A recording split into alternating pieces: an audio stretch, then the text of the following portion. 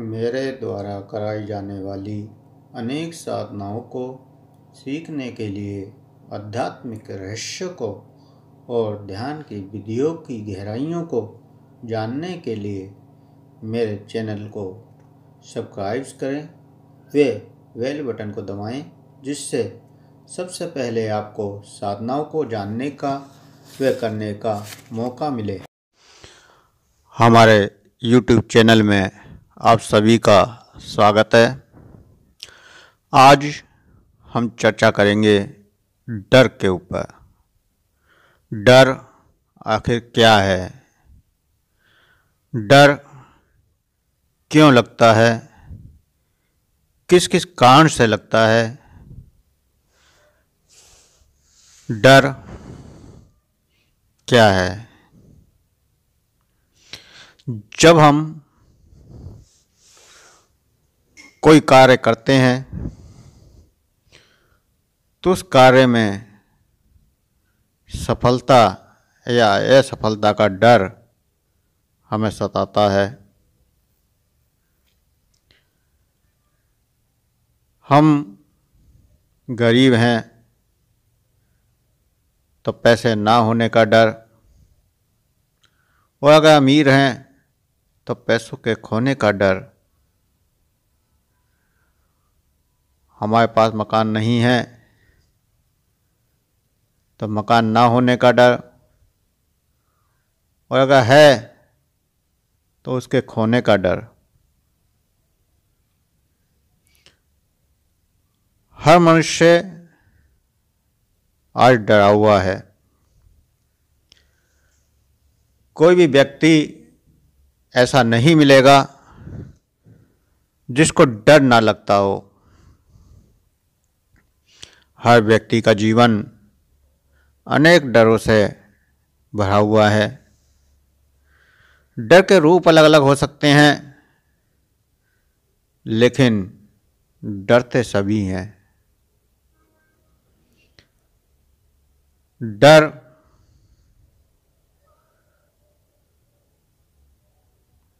जब लगता है जब हमें कुछ खोने की आशंका होती है या अंदेशा होता है।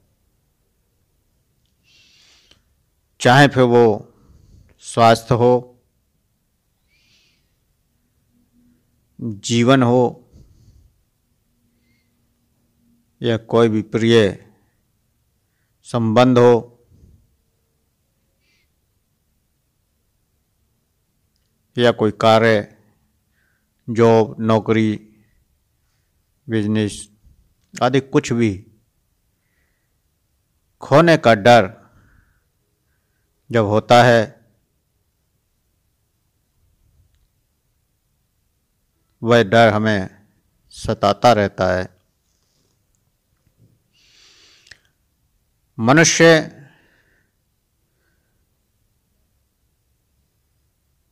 प्रेम पाने के लिए भी संघर्ष करता है। संबंध बनाता है और वह जिससे, जितना गहराई से ज़्यादा जुड़ जाता है, उसे उतना ही उस संबंध को टूटने का डर बनने लगता है।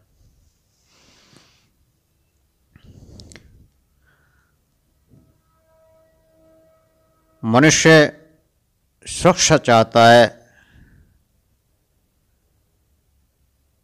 उस सुरक्षा में भी अनेक डर हैं। किसी को किसी दुश्मन का डर लगता है कि कोई दुश्मन हमला ना कर दे। किसी को चोरी का डर लगता है तो किसी को अंधेरे का डर लगता है। तो किसी को भूत प्रेतों का डर लगता है तो ऐसे बहुत से डर हैं जो हमारी सुरक्षा के प्रति डराते हैं।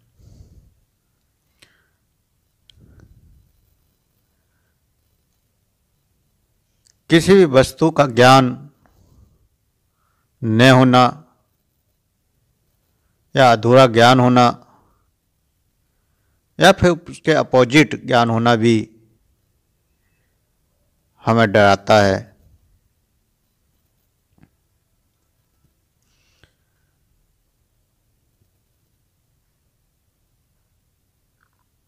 डर अपने जीवन को खोने का डर, मृत्यु का डर, मृत्यु का भय मनुष्य को सबसे ज़्यादा सताता है।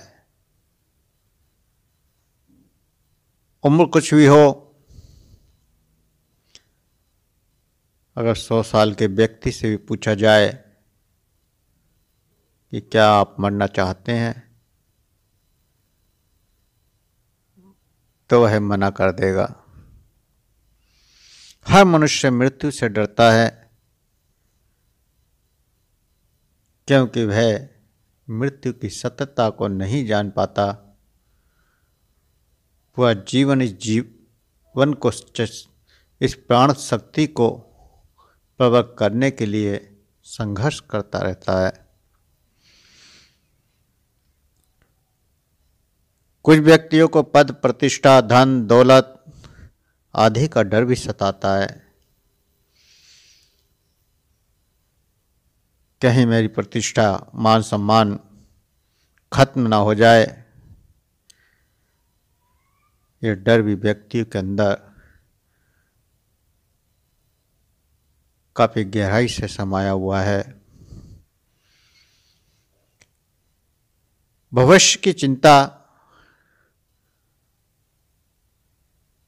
हमें अक्सर डराती है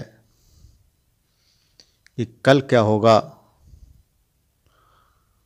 और ये कल क्या होगा का डर हमारे जीवन भर हावी रहता है। किसी भी कार्य को करने में परिणाम की चिंता। जब हम किसी कार्य को करते हैं तो कहीं उसमें असफल ना हो जाएँ।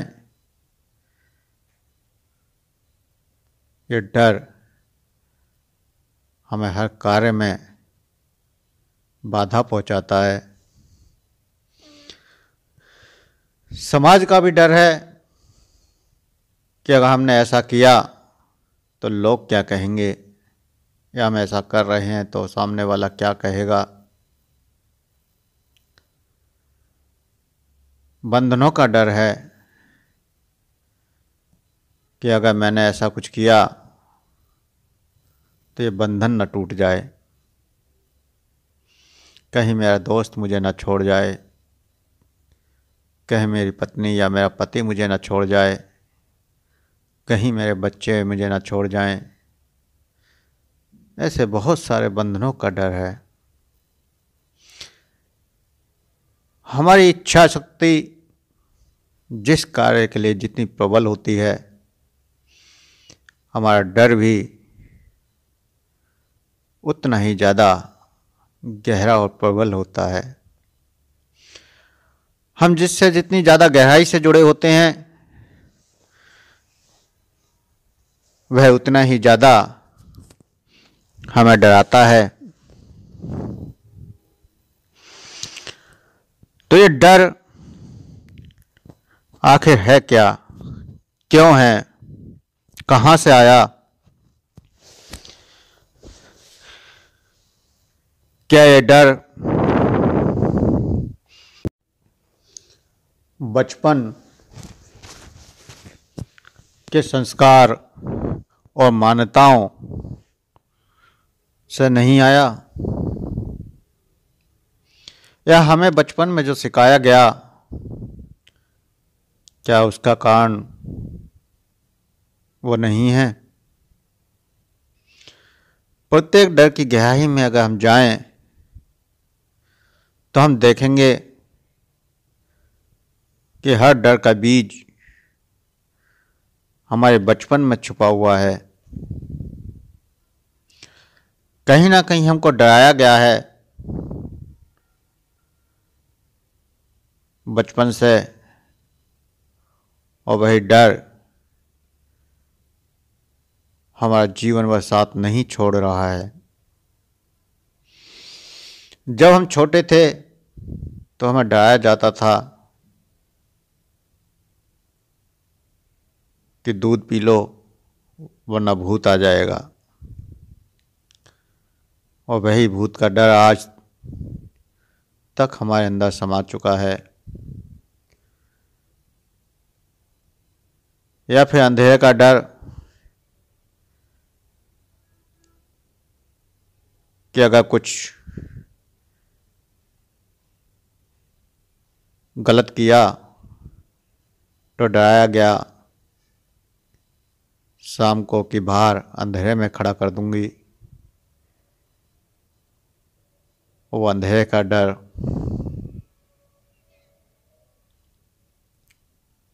या फिर किसी जानवर का डर कि ये काम नहीं किया तो बिल्ली आ जाएगी या बंदा आ जाएगा। कुत्ता आ जाएगा, वो खा जाएगा, काट लेगा।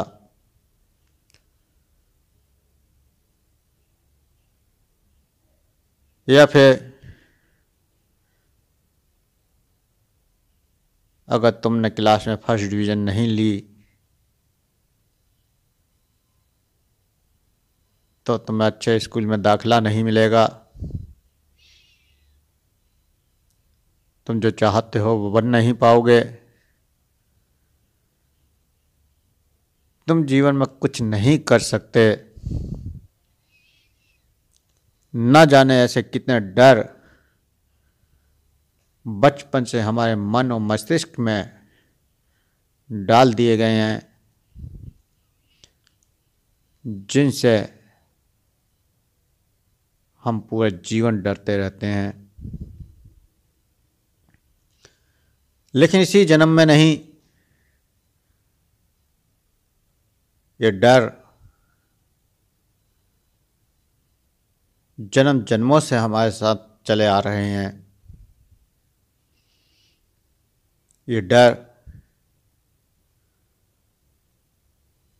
शायद उस समय से हमारे साथ चले आ रहे हैं, जिस समय मनुष्य जंगलों में रहता था।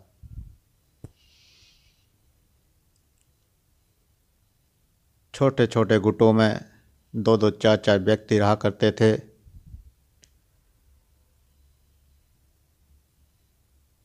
उस समय भोजन करने के लिए उन्हें संघर्ष करना पड़ता था।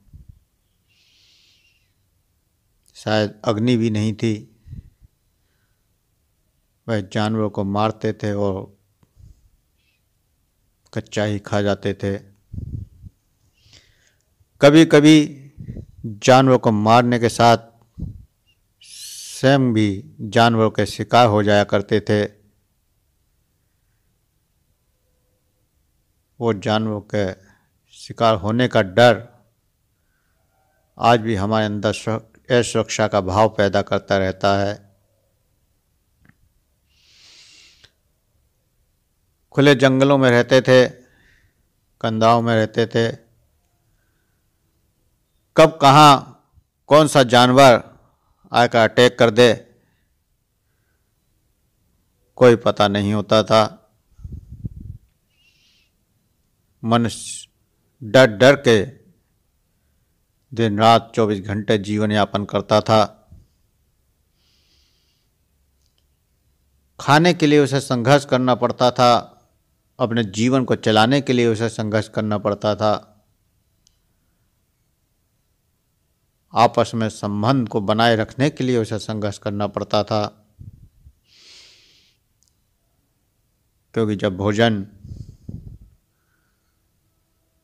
इतना आसान मिल नहीं था,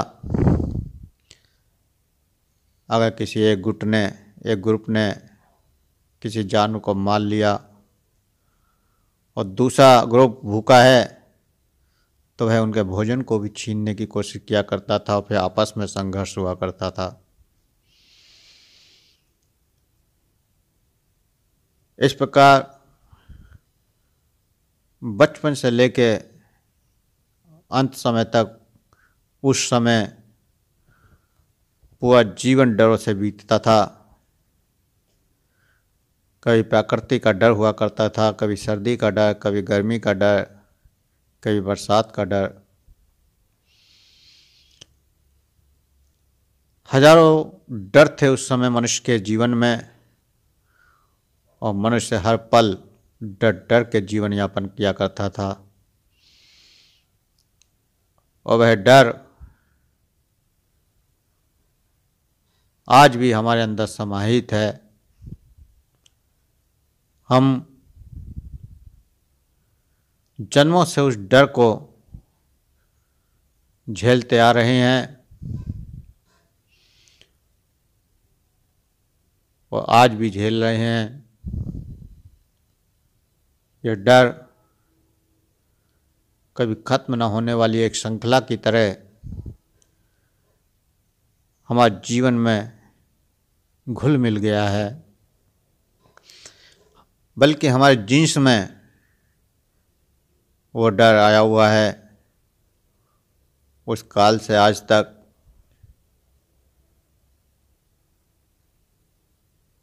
वो डर खत्म नहीं हुआ।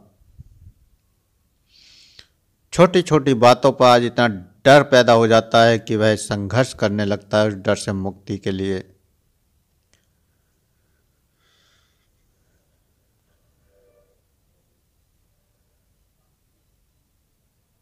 कभी परमात्मा के नाम पर कभी नौकरी के नाम पर तो कभी भूत प्रेतों के नाम पर, या कभी अनजान नकारात्मकता के कारण आज भी हम पूरे जीवन संघर्ष करते हैं इन डरों से मुक्ति के लिए। उस समय का डर होना स्वाभाविक था। हमारे पास व्यवस्थाएँ नहीं थी। सुरक्षा के लिए मकान नहीं थे। खाने के लिए अन्न नहीं था। भोजन नहीं था। चारों ओर से हज़ारों डर थे, लेकिन आज हम पूरी तरह से सुरक्षित भी हैं। भोजन व्यवस्था भी है। फिर भी हम डरते हैं, क्योंकि वो डर अभी खत्म नहीं हुआ।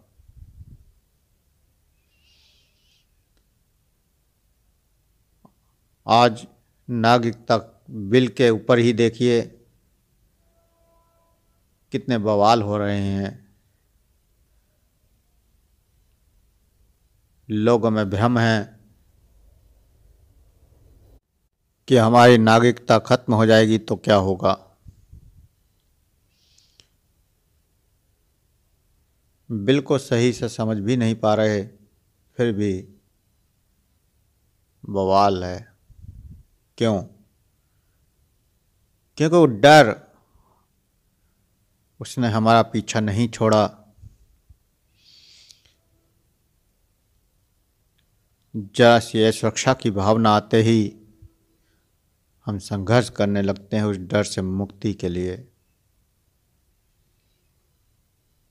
हमारा जीवन यूँ ही संघर्ष करता हुआ बीतता है। पूरे जीवन हम संघर्ष करते हैं इस डर से मुक्त होने के लिए। लेकिन इस डर से मुक्त होना इतना आसान नहीं है, क्योंकि हमारे संस्कार और मान्यताओं में समा चुका है, हमारी नकारात्मकता में समा चुका है। इस डर से मुक्त होना है तो हमें सत्यता को जानना होगा। अपने विचारों की सत्यता को समझना होगा। अपने ज्ञान को सही दिशा देनी होगी। नकारात्मकता के बीजों को अपने जीवन से हटाना होगा। और सकारात्मकता के बीज हमें अपने विचारों में बोने होंगे। ध्यान कुछ समय ज़रूर करना चाहिए। अगर हम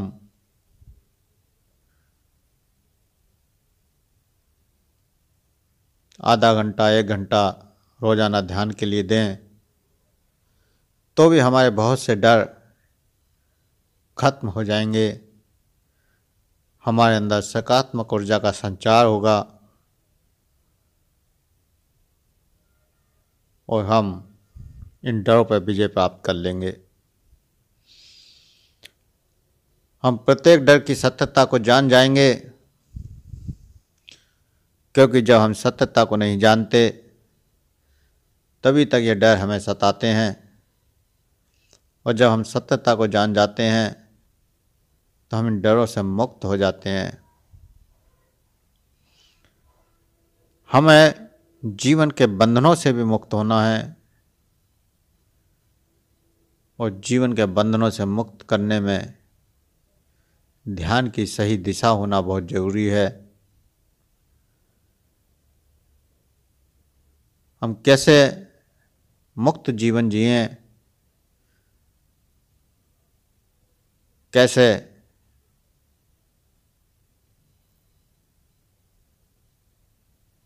इन डरों से मुक्त हो जाएँ, जीवन के बंधनों से मुक्त हो जाएँ, इसके ज़रिए कुछ साधनाएँ ज़रूर करें। कल्पांत हीलिंग साधना रेकी हीलिंग साधना। कल्पांत कल्प वृक्ष साधना। मोक्ष साधना। शिव तत्व ध्यान साधना। आदि बहुत सी साधनाएँ मैं निरंतर यूट्यूब पर डाल रहा हूँ। किसी भी एक साधना को भी आपने पकड़ लिया। तो आप इन सभी डरों से मुक्त हो जाएँगे, सभी बंधनों से मुक्त हो जाएँगे। इसी के साथ अपनी वाणी को विलाम देते हुए ओम।